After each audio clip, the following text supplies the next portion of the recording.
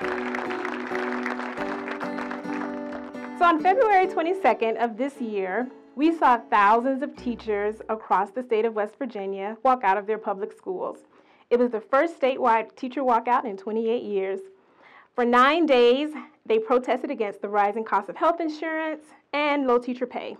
And with the support of superintendents across 55 districts in the state, along with bus drivers and custodians and parents and teachers, those teachers won not only a pay raise for themselves, but for other state employees.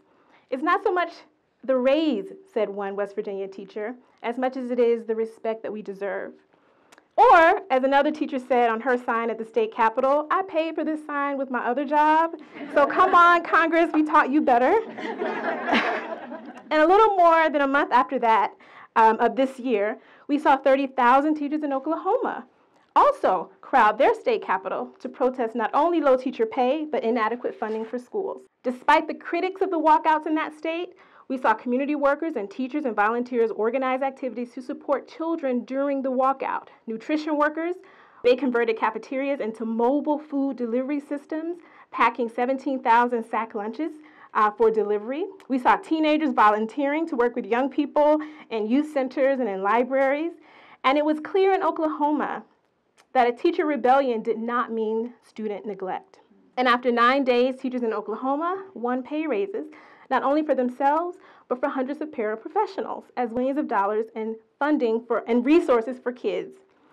We saw a sick out campaign also in Kentucky, forcing 30 districts to cancel classes, and they also headed to the state capitol. And here in Colorado, in late April, teachers in this state forced nearly 27 districts to cancel classes as those teachers walked out of their schools and headed to the state capitol. Joined also by nearly 10,000 teachers not too far away in Arizona who also marched, uh, demanding more school funding and better pay. And I must say, Colorado's protest signs were the best. Um, one, teacher, one sign said that if the Broncos were ranked 46 out of 50, we would pay attention to that.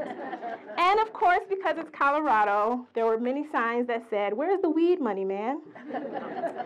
and most recently, we saw in Raleigh, North Carolina, we saw teachers, 15,000, walk out of their schools in a march that they call the March for Students and the Rally for Respect.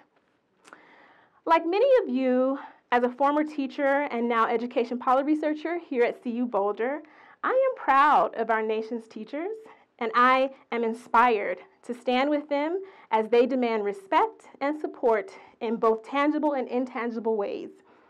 In the past weeks, however, I have wondered if after the victories, however small or long overdue they are, what is next and what is the it? I'm having a Betty Friedan moment for activists. Like, is this all? Um, and so, what will be the political significance of the teacher walkouts a year from now, five years from now, or 10 years from now?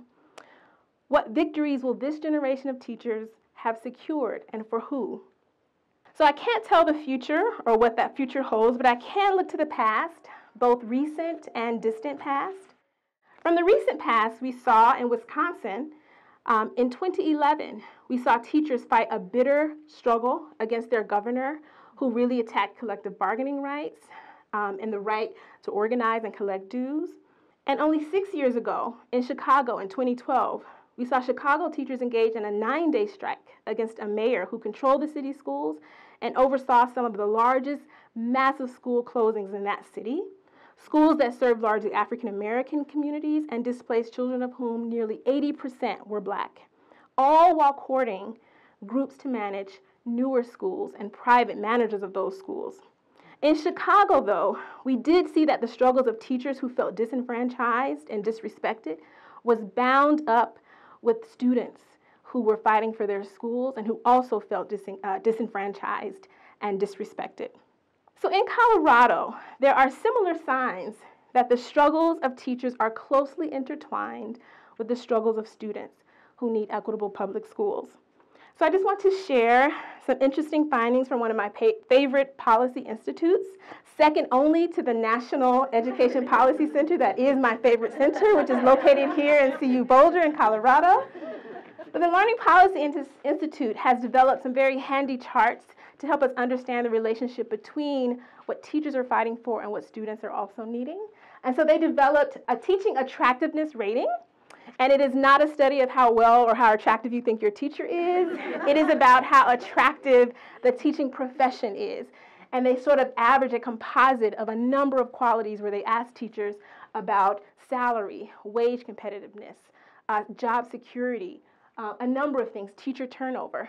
And of an average composite of one through five, with one being the lowest and five being the highest, Colorado ranked a two for teacher attractiveness. But as troubling as this is, there is also a rating for teacher equity. Um, and in that rating, um, it's a composite that looks at um, how equally distributed quality teachers are, teachers who are certified and experienced. And it turns out that when the state and the, the district sort of falls or drops the ball on teacher attractiveness, the students who suffer the most are our students who have the highest needs. They are most likely to get teachers who are inexperienced, who are uncertified, um, who have high turnover rates. And then also the composite includes teachers of color. Um, it turns out that teachers of color are a resource for a growing, diverse uh, student body. Um, and so of this composite, for Colorado with uh, between one and five, with one being the lowest and five being the highest. The equity rating was 1.3. So there is a relationship between the lack of attractiveness for this profession and our ability to have equally distributed, highly qualified teachers across schools. Also, um, I think we can learn from our contemporaries as well. We see young people engaging in walkouts all across the country including our Parkland students who are pushing, um, who encourage and inspire state walkouts for gun control and gun reform. We have students who've engaged in sit-ins and teach-ins about immigration rights um, and pushing to renew DACA. Also uh, supporting our religious minority students, as well as our Black Lives Matter movement that we've seen actually happen for six years now since the murder of Trayvon Martin, which is against the state-sanctioned racialized violence against people of color. So what does this stuff have to do with the teachers who are walking out? We know historically that it is social movements that change laws and policies, as well as culture and entrenched forms of power. And if we want the culture of blame and disrespect of teachers, as well as austerity and disinvestment in public institutions and public sector workers, if we want that to change, we might need to think in terms of a broader social movement. And oddly enough, 50 years ago, in 1968, it was a year that was described as the year that the world caught fire. There were anti war protests, protests uh, for women's rights, Black Power movement, um, uh, protests for uh, racially desegregated schools, and even in Colorado, there were demands for more equitable bilingual education in the state. So those struggles were undoubtedly painful and long, and sometimes peaceful and sometimes not. But as an African American woman, the daughter of parents from the South who witnessed and endured those struggles, their sacrifices were a gift to me, this generation. Not a perfect gift, but a gift. So, what if teacher walkouts today were viewed as part of a larger social movement, a year that the world caught fire again, particularly in November when it's time to vote again in our midterm elections? What if teachers today looked back to 1968 and to 2012 in order to move forward with bigger and bigger demands that challenge threats to organized labor, to racial uh, equality and inclusion, or that challenge the idea of public education altogether in the face of privatization?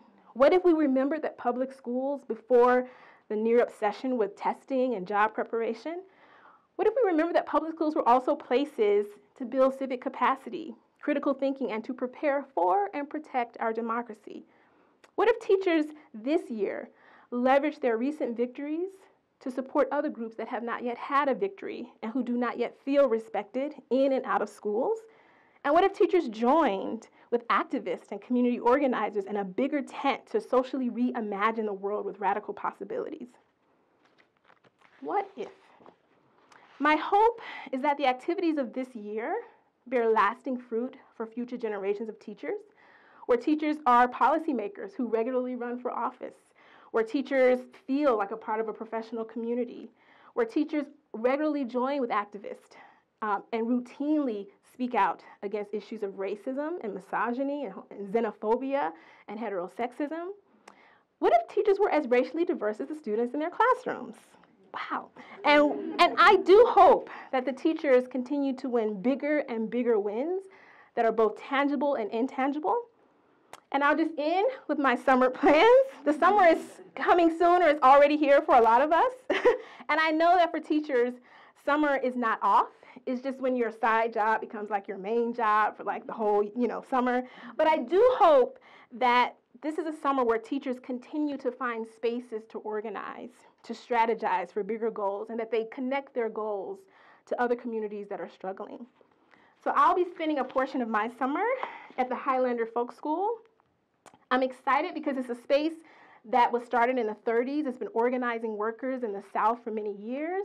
Um, it's also the summer where Rosa Parks spent um, that year in 1954 before she sat down on that bus in September. She was studying civil disobedience and she was studying organizing. Um, and many people have passed through this space, including MLK and Paulo Freire, for those of us who study critical education. And I passed through it last year. Uh, and I also took a selfie because that's just what you have to do. Uh, and I also was able to work with other people who were organizing, um, people across the South, uh, women who are organizing um, in different sectors, not just as teachers. And so I encourage teachers to continue building, to continue imagining. And I'll just end with this one last sign that was actually on a protest sign in Oklahoma is that I'm sorry for the inconvenience. We're just trying to change the world.